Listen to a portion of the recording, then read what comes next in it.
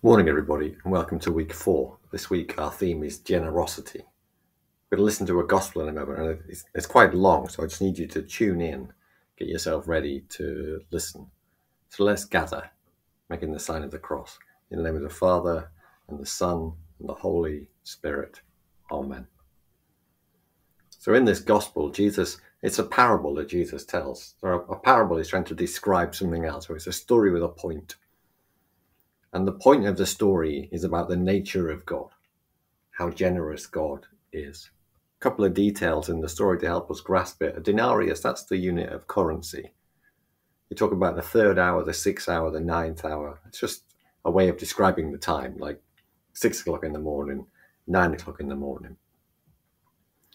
And the situation is that when you want to work, you go and wait in the marketplace. Someone will come and hire some of you for the day, agree to pay you. So let's listen to our story. It's from the Gospel of Matthew. Jesus said, For the kingdom of heaven is like a master of a house who went out early in the morning to hire laborers for his vineyard. After agreeing with the laborers for a denarius a day, he sent them into his vineyard. And going out about the third hour, he saw others standing idle in the marketplace. And to them he said, You go into the vineyard too, and whatever is right I will give you. So they went. Going out again about the sixth hour and the ninth hour, he did the same. And about the eleventh hour, he went out and found others standing. And he said to them, Why do you stand here idle all day? They said to him, Because no one has hired us. He said to them, You go into the vineyard too. And when evening came, the owner of the vineyard said to his foreman, Call the labourers and pay them their wages, beginning with the last up to the first. And when those hired about the eleventh hour came, each of them received a denarius. Now, when those hired first came, they thought they would receive more, but each of them also received a denarius. And on receiving it, they grumbled at the master of the house, saying, These last worked only one hour, and you have made them equal to us, who have borne the burden of the day and the scorching heat. But he replied to one of them, Friend, I am doing you no wrong. Did you not agree with me for a denarius? Take what belongs to you and go. I choose to give to this last worker as I give to you. Am I not allowed to do what I choose with what belongs to me? Or do you begrudge my generosity? So the last will be first and the first last. The Gospel of the Lord.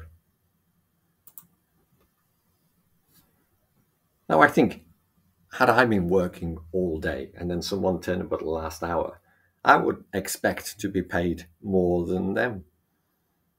But the story, in the story, Jesus is trying to get across to us that God's generosity is total for everybody.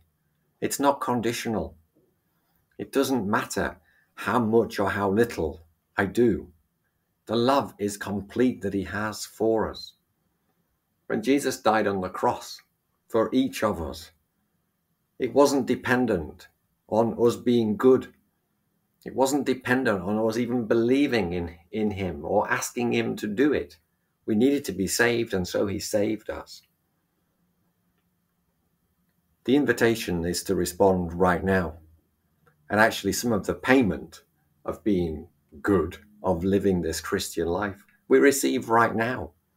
When I help other people, when I serve other people, when I'm generous with my time, I get reward. I, I, I, feel alive. I'm happy. The happiest people in the world are those who serve others, not the people who've got the most stuff. There are so many stories about people who've got loads of stuff who are just fundamentally unhappy. Happiness comes through service, happiness comes through being generous.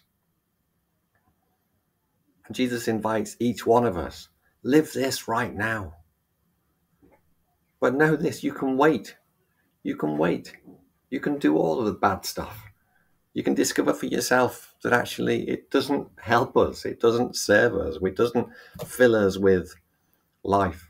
And in the last moment of your life, you can still turn to God and say, Sorry, you are right. Please forgive me. And God's mercy, God's character is that, yeah, come on in. You are loved regardless of what you do. Let's pray. God be in our heads and in our understanding. God be in our eyes and in our looking. God be in our mouths and in our speaking. God be in our hearts and in our caring. God be with our friends and family. Be with us now and always. Amen. Saint Oscar Romero, pray for us. In the name of the Father, and the Son, and the Holy Spirit. Amen.